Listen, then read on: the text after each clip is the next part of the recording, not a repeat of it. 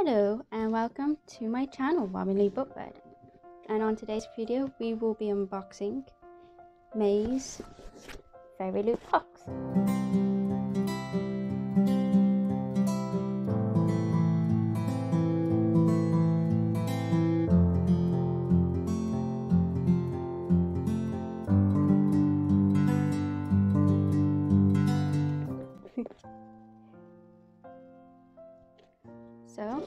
Let's jump into it. And you guys can have the look before. Oh, you guys can have the look before I can. Not looking. Oh, Jesus.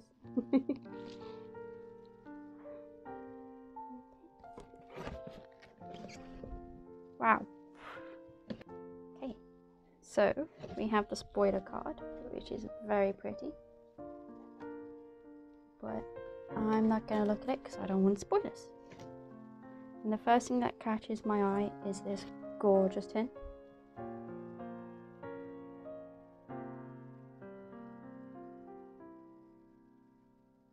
And it has a quote which says, We hunt the flame, the light and the darkness, the good this world deserves.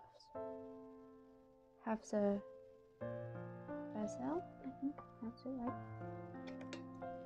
And on the top of it's got a cute little two little swords with an arrow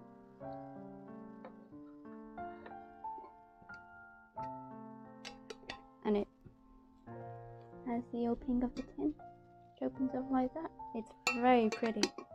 I really like this. It's so cute. Yeah. Oh Jesus. Next we have a candle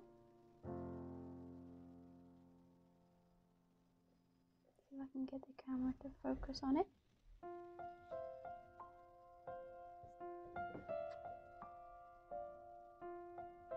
No, it's not focusing. I'm sorry. It has the tribal desert made out of soy. It's vegan and it's inspired by the book An Ember in the Ashes by Sabaa Tahir. And that smells so good. Mm, has like um very sweet smell. Mm, trying to think what it could be.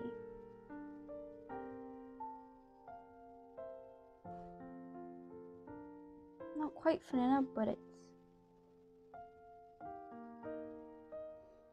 enough a fruity smell. I really like that. And I love my candle, so that's amazing. Finally got a candle. That's so lovely.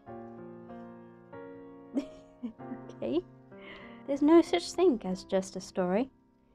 Alwyn Hamilton.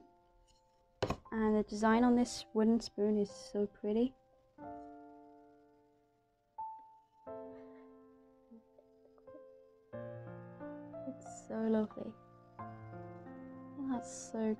So gorgeous. I love it. The technique that's gone into having the different start fonts is really nice. I like that. Really like that. It's really pretty.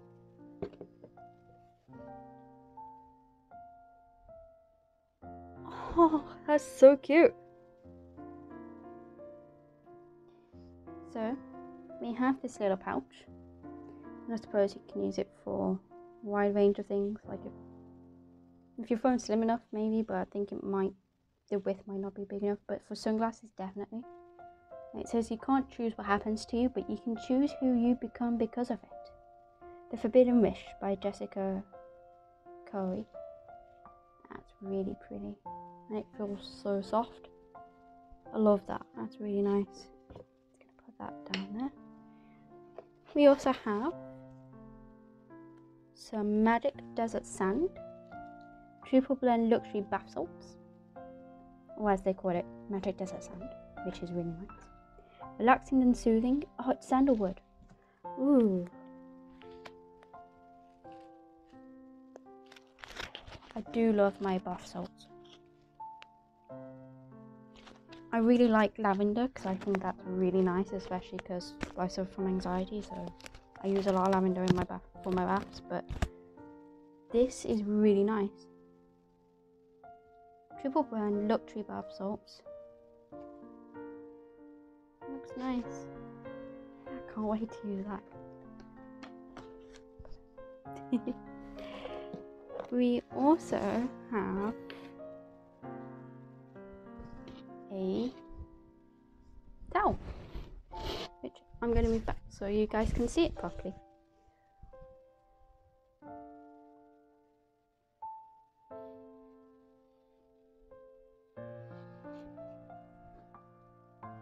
Often the mightiest things have the humblest beginnings by S.A. Chakraborty. I love this. I love getting their towels because I think their tea towels are so nice and pretty and are so detailed. It's always just nice to have something which has like a bookish quote on it. And that's lovely. I love that. Especially the, the design at the bottom. So pretty.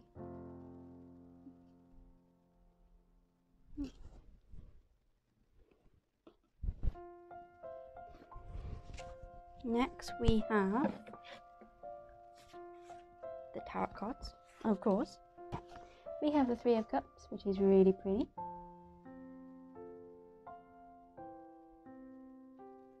And the Four of Cups.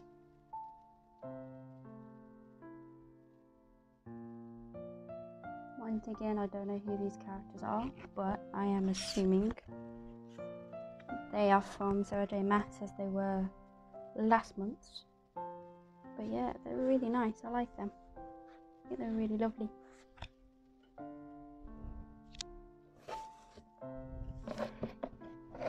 And last but not least, my favorite part,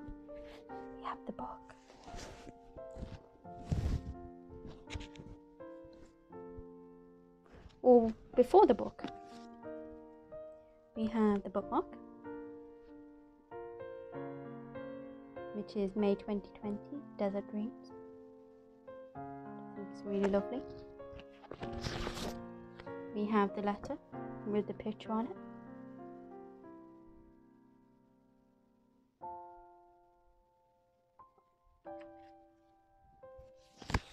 We got the fairy scoop, I'll go into in a minute. And we have the book, and from what I can see, it's pretty.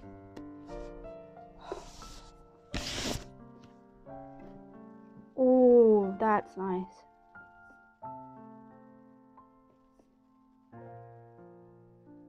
Girl, Serpent, Thorn. Bashardoust? Look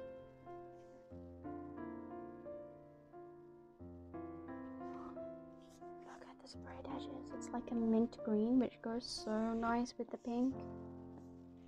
And the flowers on it.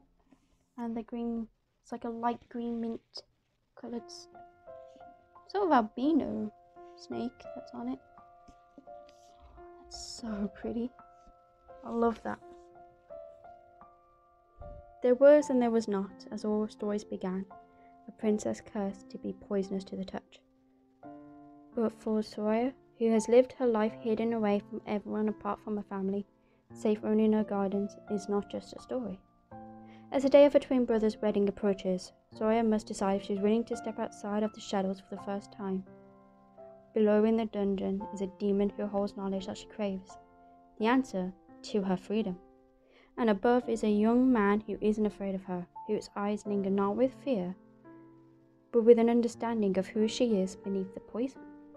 Soraya thought she knew her place in the world, but when her choices lead to consequences she never imagined, she begins to question who she is and who she is becoming human or demon, princess or monster. Wow. And of course, it's signed, which is lovely.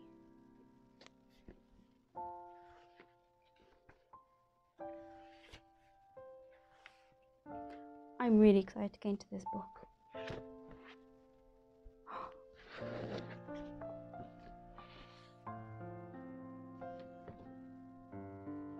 And here is the desk sleeve,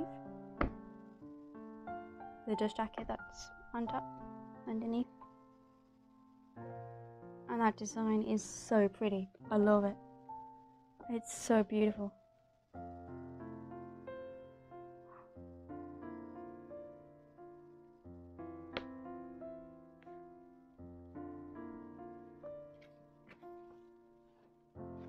Am very excited to read this. Wow.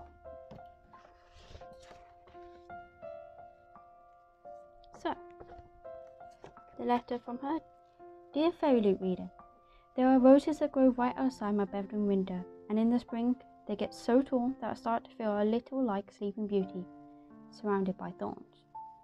With its good fairies and bad fairies, Sleeping Beauty is, to me, a fairy tale full of contradictions and dualities. At its heart is a girl who is both powerless and dangerous. Though asleep, she's surrounded by deadly thorns that protect her.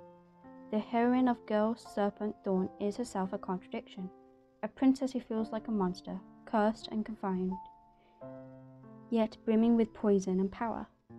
I think many of us feel that way, like a puzzle made up of pieces that don't always seem to fit together. Some of us may feel like we're poisonous, untouchable, or covered in thorns, but as Sora learns in the novel, sometimes it's what we don't like about ourselves that ends up being the source of our greatest strengths. In these pages, I hope you find excitement, emotion, empowerment, and comfort if you need it. Happy reading, Melissa. That's lovely. I'm really excited to read her book. Inside.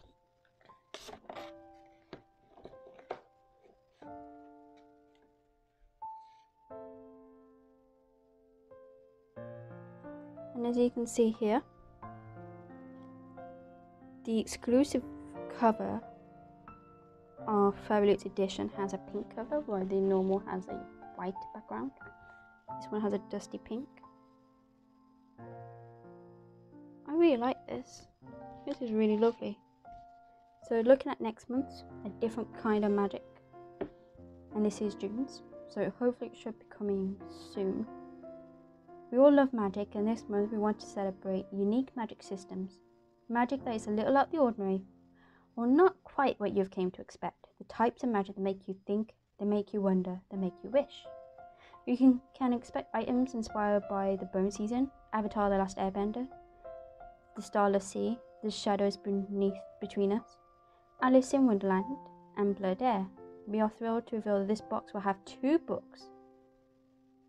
The second book in this box is a YA release that won't be released until spring 2021 and this beautiful paperback edition will have an exclusive foil filled cover and sprayed edges.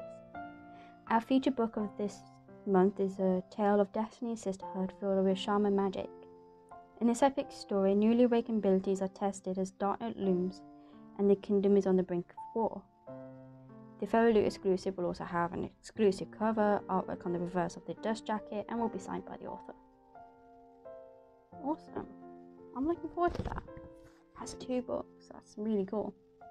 It's my first box, my first Fairy box, which has two books, so that's quite exciting.